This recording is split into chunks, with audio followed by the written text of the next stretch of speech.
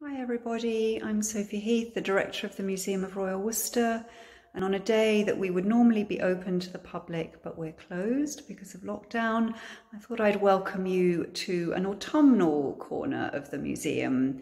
We're enjoying the last of the autumn colours on the trees, perhaps some hedgerow fruit if we're out walking. So it seemed like um, a good day uh, to uh, show you and celebrate uh, some of Royal Worcester's painted fruit um, which you can see behind me, a type of ware that the factory was very famous for. Um, this large platter uh, dates from 1880, which is really the beginning of this style, um, and it carries on into the 20th century with many famous uh, artists and fruit painters in uh, the early 20th century.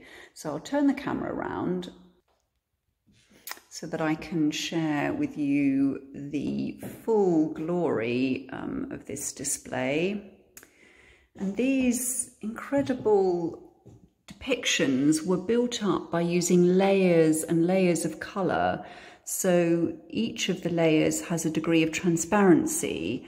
Um, so by building it up and firing it each time, so each of these pieces goes through many firings, you can create this incredible depth and texture in these pieces. And if I show you, you can see some of the colours there, uh, but these pieces where the layers aren't fully completed and also that rich and heavy gilding hasn't yet been applied, you can see that it doesn't yet have the full impact that this does uh, where that work has been done and it just feels like you could reach in and pick one of those grapes. And of course, Worcestershire is an orchard county um, producing, you know, a bounty of uh, pears, plums and apples. Uh, so this uh, style has got, um, you know, a real identification with Worcestershire as a place.